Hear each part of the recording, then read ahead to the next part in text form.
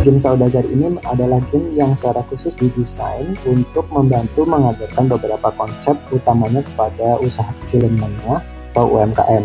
Kita tuh butuh dua production.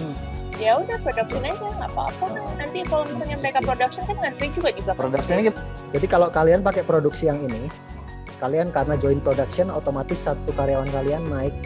Jadi dalam game Saudagar ini kita akan sedikit mensimulasikan apa yang terjadi atau apa yang uh, dihadapi oleh UMKM secara sangat sederhana dan kira-kira challenge atau tantangan apa yang mereka hadapi dan bagaimana cara menghadapinya agar memberikan uh, output yang maksimal.